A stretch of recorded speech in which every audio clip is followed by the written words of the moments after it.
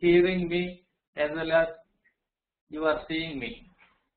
Today I am going to speak on approach to cyanotic congenital heart disease with reduced pulmonary blood flow. In the next 30-40 minutes we will be uh, discussing about specifically approach to cyanotic congenital heart disease with reduced pulmonary blood flow. This topic is chosen because this kind of case will be kept commonly in the exam and a lot of examiners are interested, passionate about asking the differential diagnosis of cyanotic congenital heart disease with reduced pulmonary blood flow. So the fascination of pediatric cardiology is due to its complexity. For an example, tetralogy Fallot, let us say, tetralogy Fallot, you have a ventricular septal defect and right ventricular outflow tract obstruction. The VSD may be malaligned or outflow extension or inflow extension or there may be additional VSD. Similarly, RVOTO may be valvular, infundibular or combination and branch PH stenosis, right aortic arch and coronary anomalies. So at the end of the diagnosis, you come with an answer that one case will not mimic the other and you will come to a clinical diagnosis of this is the particular scenario and you will be excited about the diagnosis. So that is the reason each case will not mimic the other congenital heart disease. That's way the fascination of pediatric cardiology is due to its complexity. Let us go to the VSD with the PS physiology. This is otherwise known as TOF physiology. So in tetralogy of physiology, that doesn't mean all cases are TOF, but a cyanotic congenital heart disease with admixture either at atrial, ventricular or great vessel level with obstruction to the pulmonary blood flow is known as VSD PS physiology. So essentially there is a ventricular septal defect, there is right ventricular outflow tract obstruction. So you have various varieties of uh, subtypes which I will be talking in next two, minutes. Let us look at the classification of congenital heart disease. So generally speaking, the cyanotic congenital heart diseases are uh, congenital heart diseases are acyanotic and cyanotic. In acyanotic, there is an increased pulmonary blood flow or obstruction to the blood flow either systemic or pulmonary. Whereas in cyanotic congenital heart disease, you have reduced pulmonary blood flow, mixed pulmonary blood flow, and you have various examples. In reduced pulmonary blood flow, classical example is tetralogy Fallot, whereas mixed pulmonary blood flow with increased pulmonary blood flow, you have TAPVR, concepts and other things. So that is a general classification. I am going to deal with a cyanotic congenital heart disease with reduced pulmonary blood flow today morning. So if you look at the various congenital heart disease, but you have to divide into hemodynamic subtypes. The hemodynamic subtypes are acyanotic congenital heart disease with increased pulmonary blood flow either pre-tricuspidant or post-tricuspidant. Classical example of post-tricuspidant is the ventricular septal defect. Similarly, obstruction to the blood flow either pulmonary or systemic or cyanotic congenital heart disease with increased pulmonary blood flow or cyanotic congenital heart disease with reduced pulmonary blood flow. So I hope you are seeing this slide, a hemodynamic classification and a clinical correlation. A cyanotic congenital heart disease can be hemodynamically subclassified into cyanotic congenital heart disease a reduced pulmonary blood flow, cyanotic with increased pulmonary blood flow and optimal pulmonary blood flow. Based on this, you know that the presentation of the case, whereas reduced pulmonary blood flow, they have cyanosis and cyanotic spell, increased pulmonary blood flow, they will have uh, cyanosis and heart failure, whereas optimal pulmonary blood flow, there may not be any significant symptoms. Again, based on the clinical scenario, you have left ventricular dominance, right ventricular dominance in all of these settings. So I am going to discuss in detail how to identify all these conditions. So general approach includes you have seven steps of congenital heart disease. Uh, seven steps to diagnose congenital heart diseases. The step one is evaluation of history and cyanosis. Step two is how to identify the ventricular dominance, whether it is left ventricular, right ventricular, or biventricular dominance. Step three is identification of the great vessel relation, whether it is a normal, demorphous, or L-morphous. Then you will be auscultating and finding about the second heart sound nature, whether it is single, loud, or what is the second heart sound. Then murmur. After that is either depending on the clinical scenario, you choose chest X-ray electrocardiogram, and of course, eventually, echocardiogram will give you the final diagnosis. It's an integral part of your clinical diagnosis. So let us see evaluation of cyanosis. Always you should rule out breath holding spells. In my clinical practice, nearly 5% of the babies they refer to us to rule out congenital disease with a history of breath holding spells.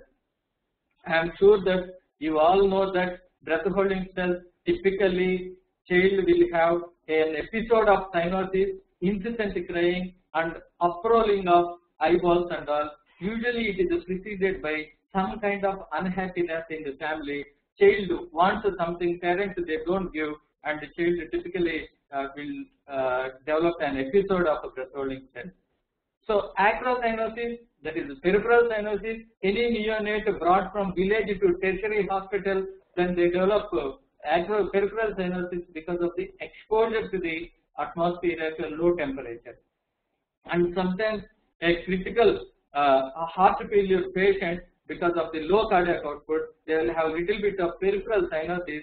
That is because of the more amount of oxygen extraction from the peripheral circulation. So they will have reduced hemoglobin in the venous system. You all know that oxygen extraction is 25 to 30. If it is more during a heart failure, then there will be dustiness and appearance.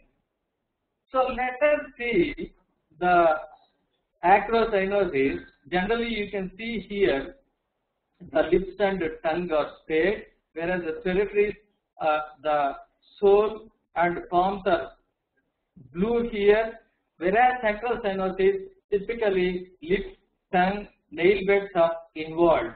So in peripheral cyanosis, this is very, very transient cyanosis, may last in 48 to 72 hours, and usually the peripheries are cold and capillary filling is somewhat delayed. Whereas in case of central cyanosis, the peripheries are warm, capillary filling is normal, whereas cyanosis increases when child cries because of the demand of uh, more of oxygen due to increased cardiac output. So I want to you people to understand, to write down some of these things. I am sure that if you send me email, I can send this entire PowerPoint to you. It's a teaching session. You all should know basic fundamentals of differences between cardiac and respiratory cyanosis. So in cardiac cyanosis, these babies are comfortable at rest, whereas respiratory, that is due to respiratory infection, lower respiratory infection, whatever it is, they they always will have some kind of respiratory distress. What Worsens with crying is seen commonly in the cardiac because I already told you during crying that acts like an exercise. There will be really increase of cardiac output, more amount of oxygen, so more amount of cyanosis will be seen. Whereas in case of respiratory, the cyanosis improves with crying because child takes a deep respiration and more respiration, more oxygenation and cyanosis disappears. Similarly, the resting CO2 levels will be lesser than 60, more than 100, whereas in cardiac, the PO2 levels will not be increased more than 100, even if you 100% oxygen, whereas in case of respiratory, the PO2 levels will go more than 200%. So you have pulse oximeter and examination of cardiovascular system will show the murmurs in case of cardiac, ECG X-ray will be abnormal, everything will be normal except X-ray will show the pneumonia. So I am going to ask you whether you all should know what is hyperoxia test, what is the virginal hyperoxia test when you take arterial blood gas sample both before and after oxygenation and now the modification of the hyperoxia test using only pulse oximeter because practically it is not possible to give 100% oxygen intubation and take blood gas in all children. That's why now present days you take only pulse oximeter, pulse oximeter uh, plethysmography and check the saturation whether it is increasing more than 10% or not. So I want you to know all hyperoxia tests before going for the examination or it is important during your clinical practice.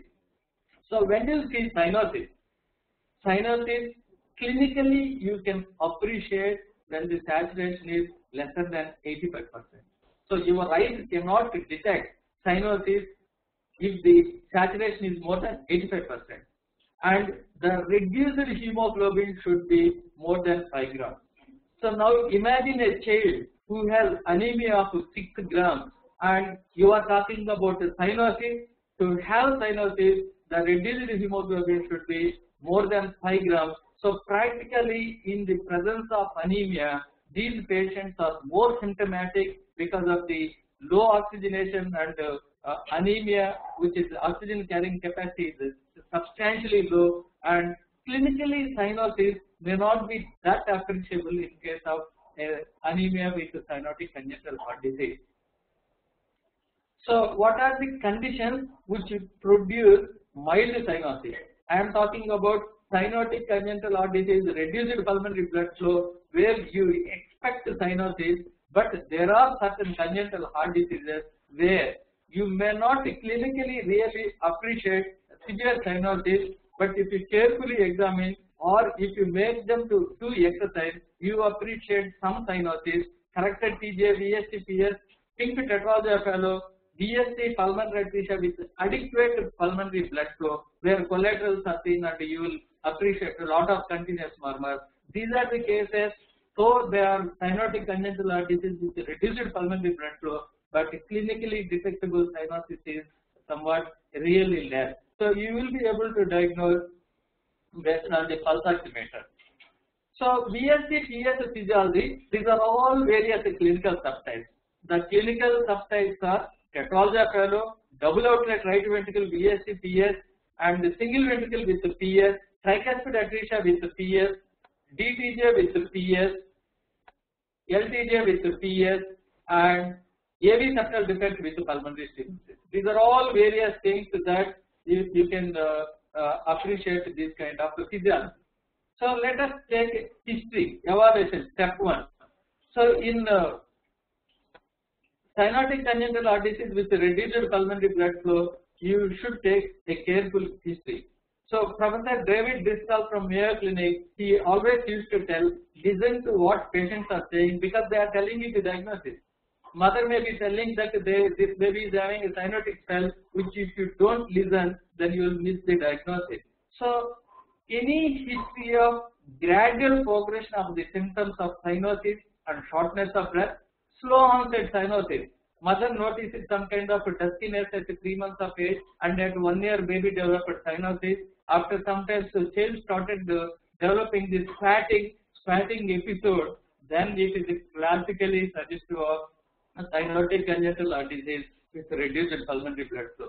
So history of cyanotic spell, history of cyanotic spell equivalent or squatting usually suggests that this is a case of cyanotic congenital heart disease with reduced pulmonary blood flow.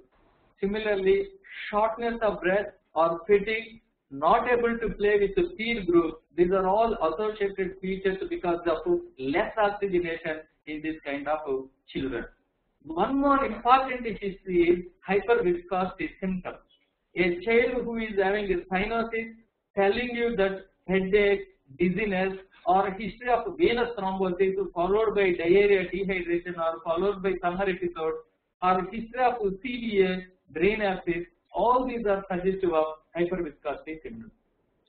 Traditional teaching, I am sure that you are all aware that failure to thrive a growth retardation, failure to thrive is a feature of a hand. But in cyanotic congenital heart disease, reduced pulmonary blood flow, uniform growth retardation, both height as well as the weight reduction will be there because of the tissue hypoxemia, uh, which produces the overall growth impairment. So these are all various types of history by which you can tell that this is a cyanotic congenital heart disease with reduced pulmonary blood flow.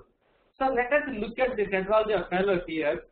In this VSDPS physiology, there is adequate mixing of both deoxygenated and oxygenated blood and there is obstruction to the pulmonary outflow tract. So in this condition, based on the obstruction, your pulmonary blood flow will be present and child will have that kind of symptoms. And generally speaking, these patients should not have any cardiac enlargement, there should not be any congestive heart failure. So late onset of cyanosis, history of cyanotic spells, history of squatting or squatting equivalent, no history of heart failure, no history of CVA, cerebral abscess, suggestive of VSD, PS physiology. So squatting, when do you see squatting? Squatting is squatting or cyanotic spells are all mechanisms are described. I am sure you are all aware that one of the major mechanism is a dynamic component of the infundibulum. So for some reason, there is a dynamic component of the infundibulum, infundibulum which uh, causes episodic obstruction due to various autonomic nervous system involvement, endogenous catecholamine, and also unknown mechanisms causes the cyanotic spells and squatting. So classical example, wherever there is a dynamic component of the infundibulum, you will the, you will see the manifestation of the cyanotic spells. Classical example is tetralogy of Fallot, double outlet right ventricle VSD PS which a normal related great result because in that situation the infundibulum is seen. Similarly, tetralogy of uh, tricuspid atresia VSDPS, the obstruction may be from the VSD, right ventricular outflow tract and pulmonary stenosis. Similarly, a variant of single ventricle. What is the variant? You guys know what are the variants of single ventricle? So here I am talking a single ventricle with a normal related great vessel called as Holmes heart. So in Holmes heart, normal related great vessel, the bulboventricular chamber is nothing but right ventricle which has got infundibulum. These babies were present with cyanotic spells sometimes if you don't diagnose them very early in life. So let us see this history summary. A child who is presenting to you with a history of a heart failure, the yellow line, and then becoming asymptomatic, then becoming symptomatic, classically suggestive of a left to right shunt becoming uh, pulmonary, developing pulmonary hypertension and becoming Eisenmenger syndrome. So symptomatic change becoming asymptomatic and again becoming symptomatic usually suggestive of Eisenmenger syndrome, whereas a progressive gradual onset of symptoms of cyanosis and fatigue and other things usually suggestive of cyanotic congenital heart disease with reduced pulmonary blood flow, whereas heart failure and cyanosis which is somewhat very rapidly and they will never get any kind of relief or asymptomatic state usually suggestive of cyanotic congenital heart disease with increased pulmonary blood flow. They develop very early pulmonary vascular resistant uh, pulmonary vascular obstructive disease. So cyanotic congenital heart disease with optimal pulmonary blood flow generally asymptomatic for several years mild dyspnea and exertion, mild cyanosis and fatigue will be there. And usually you diagnose them during routine examination, routine examination. And late, I, I want to ask you actually, what are the causes of late onset cyanosis, congenital or acquired? Any guys? Late onset cyanosis. So you can see the late onset cyanosis causes acquired pulmonary fistula acquired pulmonary AV fistulas are seen in, yeah, somebody is uh, telling VSD PS also, acquired pulmonary AV fistulas are seen in case of liver diseases.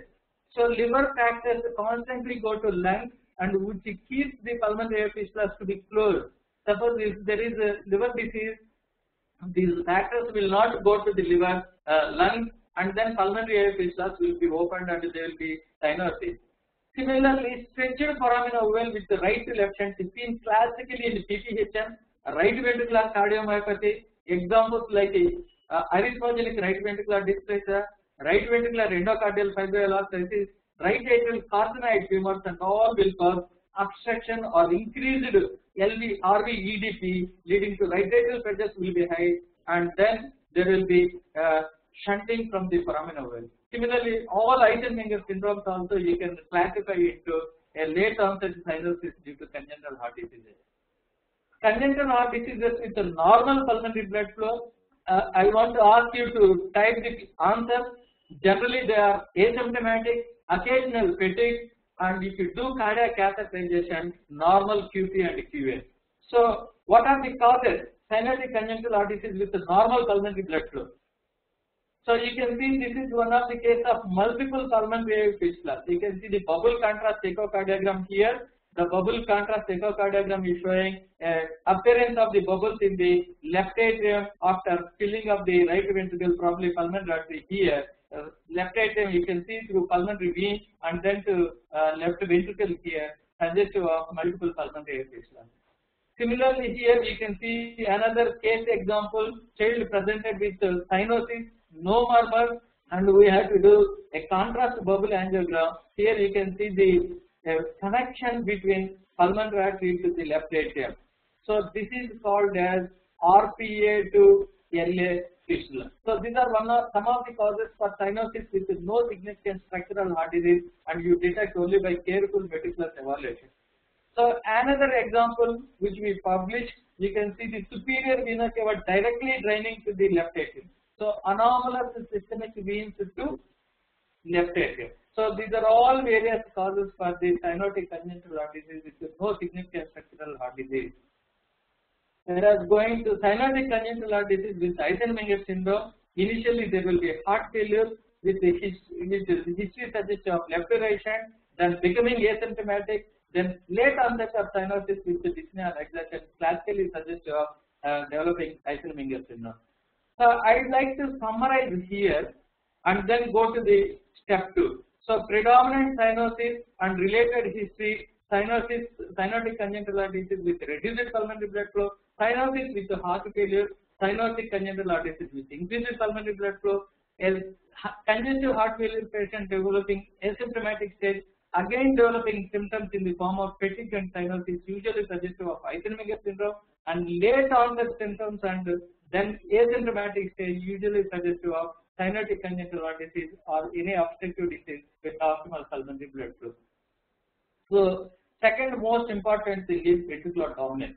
So if you look at the CT scan of the chest, a sagittal view here, you can see the sternum here and the right ventricle is just below the sternum. So in general, if you yourself to palpate your right ventricle, you won't be able to palpate because it is below the sternum. So that is what the right ventricle. So whenever there is a dilatation or significant hypertrophy and dilatation, then you will see the right ventricle which is going either protruding and there will be parasternal pulsations here on the second space or subxiphoid pulsations because of the enlargement below the subxiphoid region. So these are the two common things which you see whenever there is a right ventricular dominance, right ventricular hypertrophy. But in reality, cyanotic congenital heart disease with reduced pulmonary blood flow conditions where a non-restrictive VSD is present. Classical example is tetralgia Fallot. Both ventricles are sharing with equal pressure. So you don't clinically appreciate that kind of right ventricular dominance. That means subxiphoid pulsations and parasternal heave will not be seen if there is a communication between the two ventricles called as non-restrictive VSD. But conditions like a critical PS with intact ventricular septum and cyanosis because of the ASD where right ventricle is too much of tensed up, there will be high pressure and there is no uh, ventricular septal defect. In those individuals, you will see the subxiphoid pulsations and parasternal heave. So in tetralgia Fallot, this right ventricular heave and subxiphoid pulsations generally you don't appreciate. RV heave will be subtle, no parasternal pulsations. Generally, these patients all will have quite precardia. So classical examples of right ventricular dominance, but still you will be able to identify to certain extent whether it is the right ventricle or left ventricle because of the effect. If the effect is not formed by the left ventricle, that is inferior and lowermost a, a classical localized apical impulse suggestive of left ventricle. If it is not there, probably you should be thinking it's a right ventricular attack. So conditions like tetralogy of Fallot, pulmonary atresia VSD, double outlet right ventricle VSDPS, D-transposition VSDPS, you should keep in mind. So critical PS with ASD causing a right to left shunt and in those patients only you will see the right ventricular hypertrophy, parasynergy, subsequent right ventricular Q you will be seen. So going, this is a classical example, you can see the Fallot, non-restrictive VSD, right ventricular hypertrophy, a cyanotic congenital heart disease with the right ventricular dominance. And this is a rare scenario where you can see ventricular dysfunction. Generally speaking, cyanotic congenital heart disease with reduced pulmonary blood flow will not have cardiomegaly unless you have a biventricular dysfunction. This particular child is was having biventricular dysfunction because of the associated other abnormalities. I, I don't want to discuss those things. So let us look at the LV dominance. If you take the a coronal plane here, we can see the left ventricular apex which is lowermost and outermost where you can see the LV apex. So you will be able to palpate that the left ventricular localized apical impulse. There won't be any kind of parasternal hue. There won't be any kind of subxiphoid hue. So in case of LV LV apex, no epigastric pulsations, no parasternal hue. Classical conditions are tricuspid atresia VSDPS, single ventricle with the PS, pulmonary atresia with intact septum. Of course, pulmonary atresia with intact septum is a neonatal condition. We should not be bringing that diagnosis always when you are examining a child. But you should tell that this is a rare case which we can present during early infancy and neonatal period. So by and large, a cyanotic congenital heart disease with reduced pulmonary blood flow, LV dominant, you all should know tricuspid atresia with VSDPS, single ventricle with PS.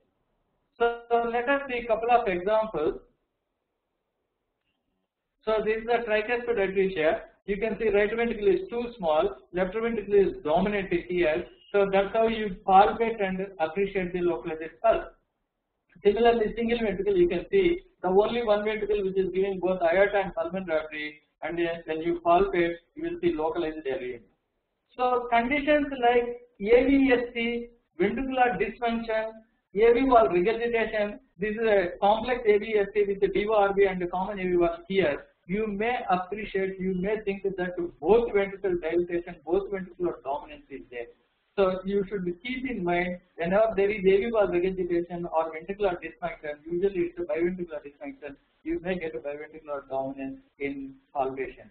So cardiomegaly in decreasing pulmonary blood flow situation usually due to biventricular dysfunction, valvular regurgitation or excess amount of collateral. Lot of blood is going to lungs and coming back, so you will have both ventricles dilatation and heart failure may be seen.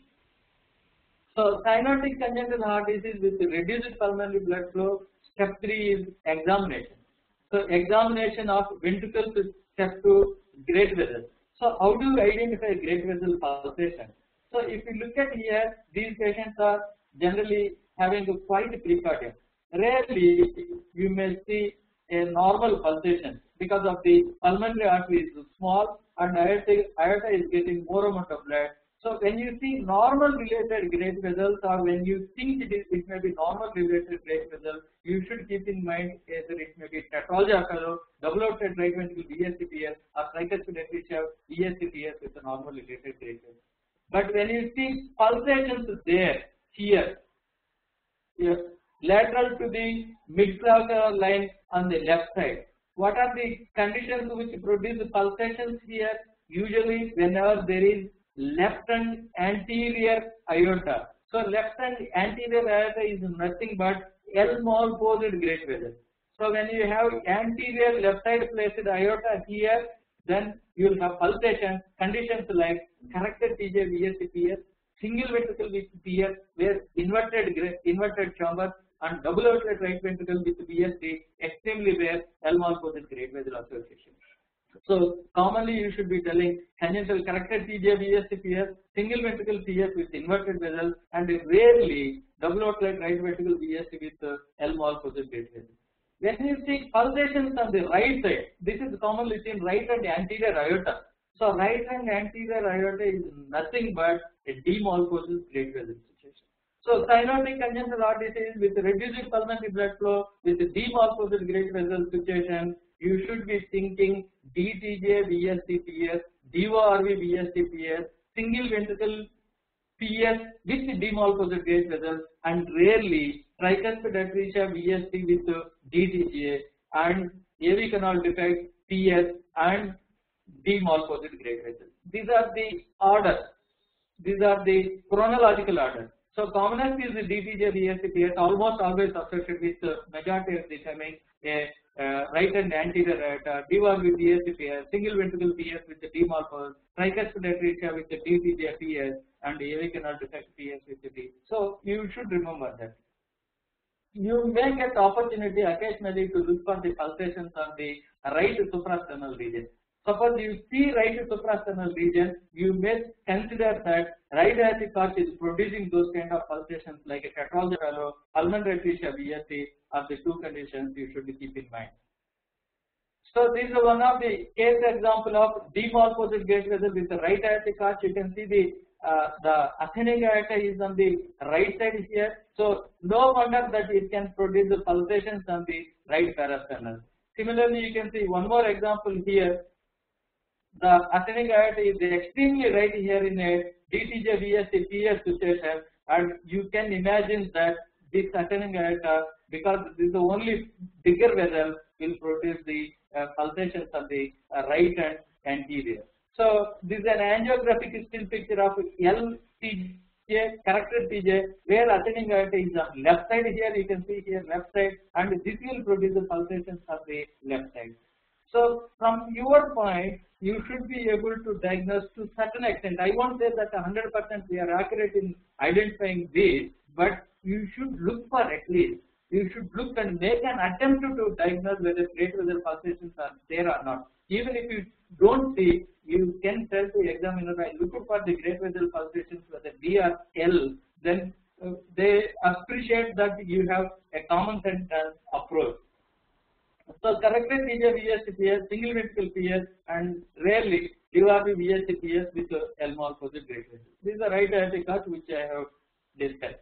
So let us go to the fourth step called second heart sound. So second heart sound normally appreciable second heart sound is very rare in VSDPS physiology because the amount of blood goes across the right ventricular outflow tract usually which determines the P2 component pulmonary. In a tetralogy Fallot, you have a cyanotic spell and the severe cyanosis, your P2 may be totally absent. You don't appreciate the P2 even phonocardiographically.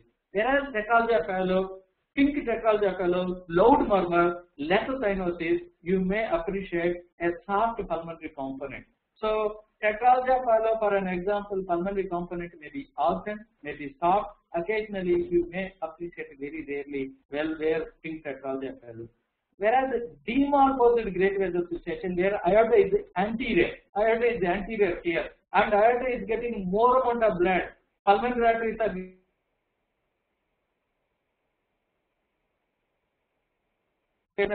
I request you to keep in mind. So next coming to the sound ejection click. Ejection click is a physiology